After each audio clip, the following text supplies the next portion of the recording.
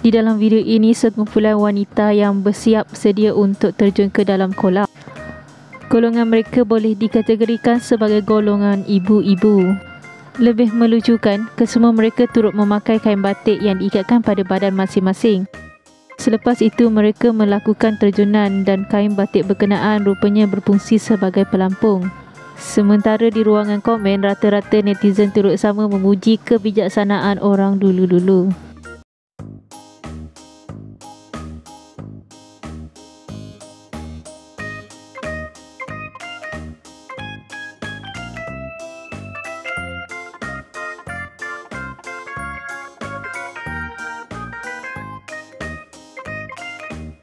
Bila Mac Caldo Lomatak Baroxy.